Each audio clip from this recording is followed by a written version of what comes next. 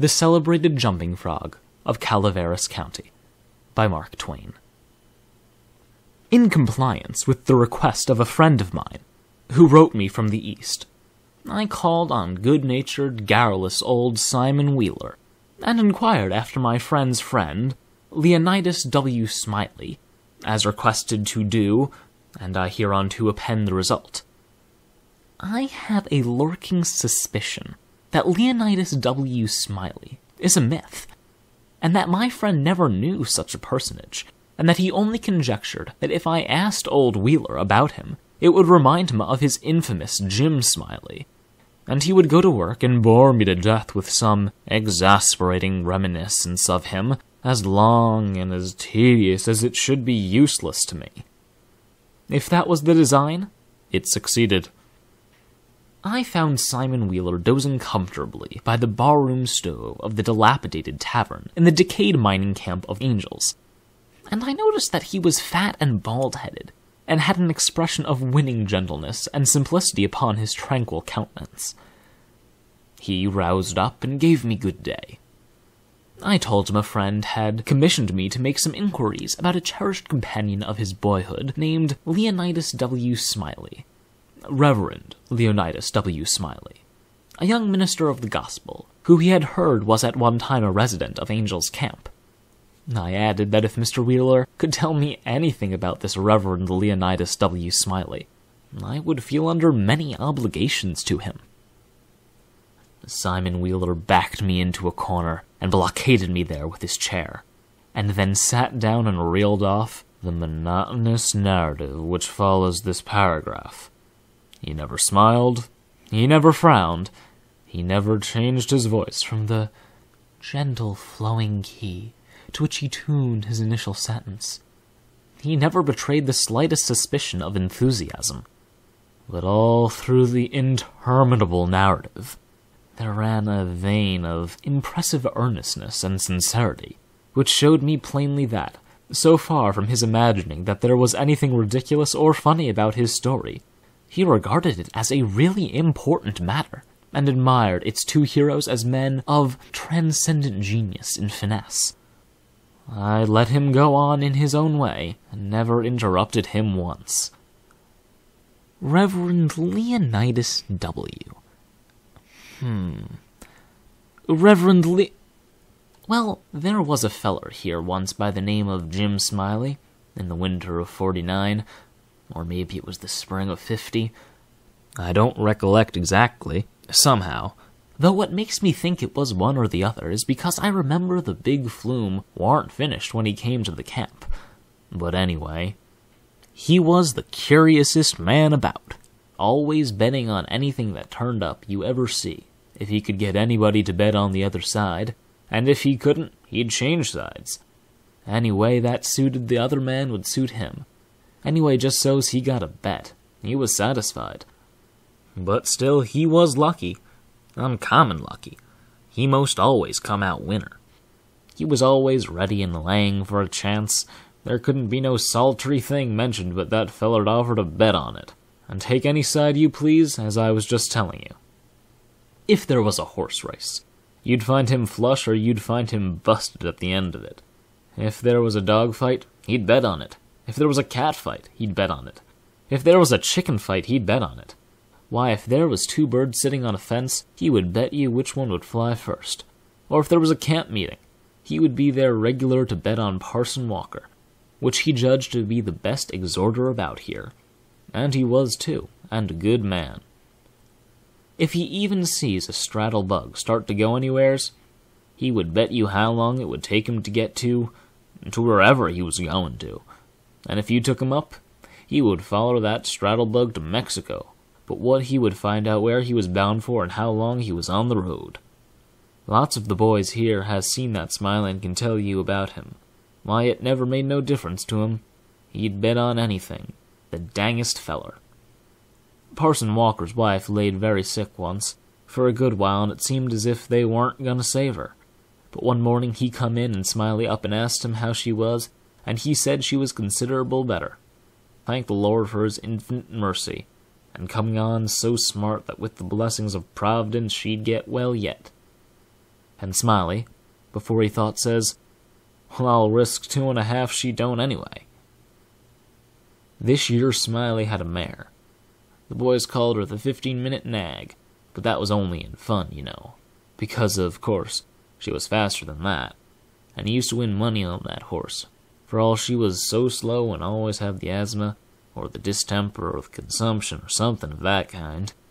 They used to give her two or three hundred yards start, and then pass her under way, but always at the fag end of the race she'd get excited and desperate like, and come cavorting and straddling up, and scattering her legs around limber, sometimes in the air and sometimes out to one side amongst the fences, and kicking up more dust and raising more racket with her cough and sneezing and blowing her nose, and always fetched up at the stand just about a neck ahead, as near as you could cipher it down. And he had a little small bull pup, that to look at him you'd think he warn't worth a cent but to sit around and look ornery and lay for a chance to steal something. But as soon as money was up on him, he was a different dog. His under jaw began to stick out like the forecastle of a steamboat, and his teeth would uncover and shine like the furnaces. And a dog might tackle him and bullyrag him and bite him and throw him over his shoulder two or three times. And Andrew Jackson, which was the name of the pup, Andrew Jackson would never let on but what he was satisfied, and hadn't expected nothing else, and the bets being doubled and doubled on the other side all the time till the money was all up. Then all of a sudden he would grab that other dog just by the jint of his hind legs and freeze to it. Not chaw, you understand, but only just grip and hang on till they throwed up the sponge. If it was a year. Smiley always come out winner on that pup, till he harnessed a dog once that didn't have no hind legs, 'cause they'd been sawed off in a circular saw. And when the thing had gone along far enough, and the money was all up, he come to make a snatch for his pet Holt. And you see in a minute how he'd been imposed on, and how the other dog had him in the door, so to speak. And he peered surprised, and then looked sort of discouraged like, and didn't try no more to win the fight, and so he got shucked out bad. He gave Smiley a look, as much as to say his heart was broke, and it was his fault for putting up a dog that hadn't no hind legs for him to take hold of, which was his main dependence in a fight, and then he limped off a piece and laid down and died. It was a good pup, was that Andrew Jackson, and would have made a name for hisself if he'd lived. The stuff was in him, and he had genius.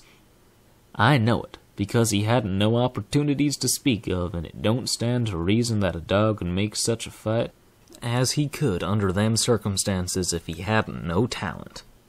It always makes me feel sorry when I think of that last fight of his'n and the way it turned out. Well, this year Smiley had rat terriers, and chicken cocks and tom cats and all them kind of things, till you couldn't rest, and you couldn't fetch nothing for him to bet on but he'd match you. He catched a frog one day and took him home, and said he'd collated it to educate him. And so he never done nothing for three months but set in his backyard and learned that frog to jump. And you bet he did, learn him too. You'd give him a little punch behind, and the next minute you'd see that frog whirling in the air like a donut. See him turn one somerset, maybe a couple if he got a good start, and come down flat footed and all right like a cat. He got him up so in the manner of catching flies and kept him in practice so constant that he'd nail a fly every time as fur as he could see him. Smiley said all the frog wanted was education, and he could do most anything. And I believe him. Well, I've seen him set Daniel Webster down here on this floor. Daniel Webster was the name of this frog, and sing out, Flies, Daniel, flies, and quicker'n you could wink he'd spring up and snake fly off from the counter there and flop down on the floor again as solid as a gob of mud, and fall to scratching the side of his head with his hind foot as indifferent as if he hadn't no idea he'd been doing any more'n any frog might do. You never see a frog so modest and straightforward as he was, for all he was so gifted. And when it come to fair and square jumping on a dead level, he could get over more ground at one straddle than any animal of his breed you ever see. Jumping on a dead level was his strong suit, you understand. When it came to that, Smiley would ante up money on him as long as he had a red.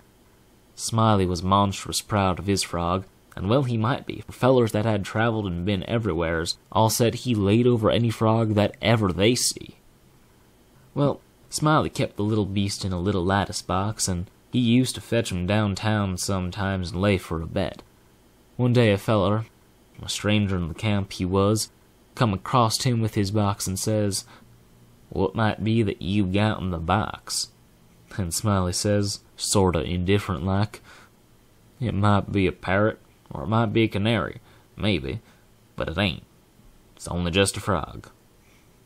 And the feller took it and looked at it careful and turned it round this way and that and says, Hmm, so 'tis. Well, what's he good for?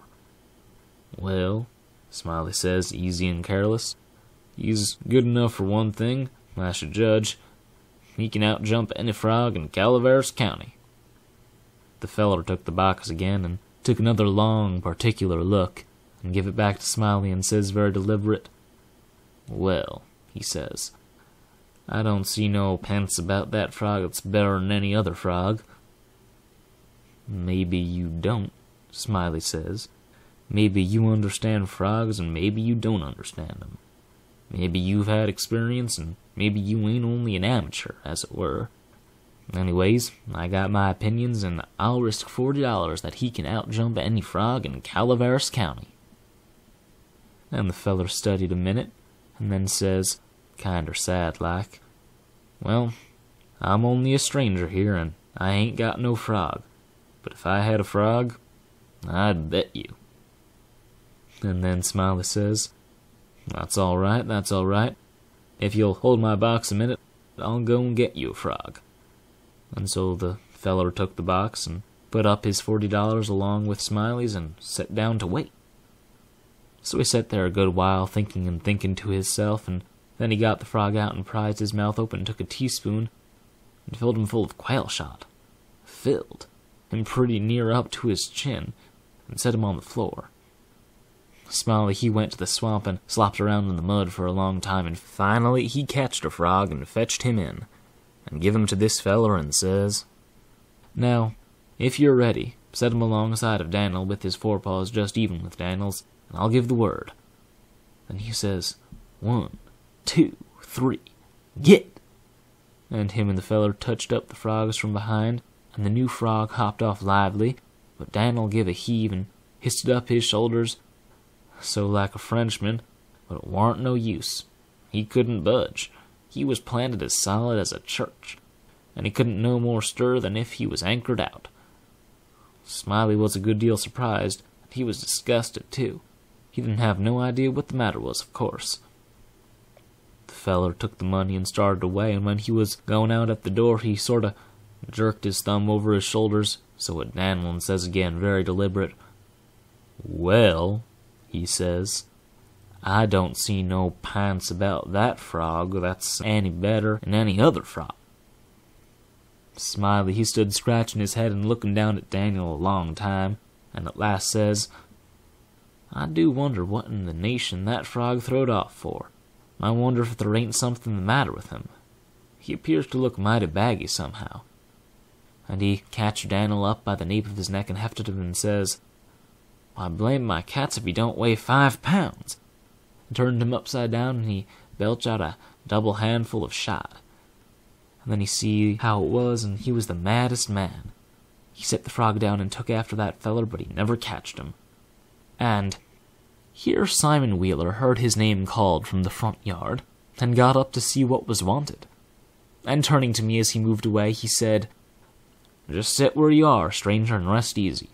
I ain't gonna be gone a second. But, by your leave, I did not think that a continuation of the history of the enterprising vagabond, Jim Smiley, would be likely to afford me much information concerning the Reverend Leonidas W. Smiley. And so I started away. At the door I met the sociable Wheeler returning, and he buttonholed me and recommenced. Well, this year Smiley had a yaller, one-eyed cow that didn't have no tail, only just a short stump like a banana, and... However, lacking both time and inclination, I did not wait to hear about the afflicted cow, but took my leave. End of the celebrated jumping frog of Calaveras County.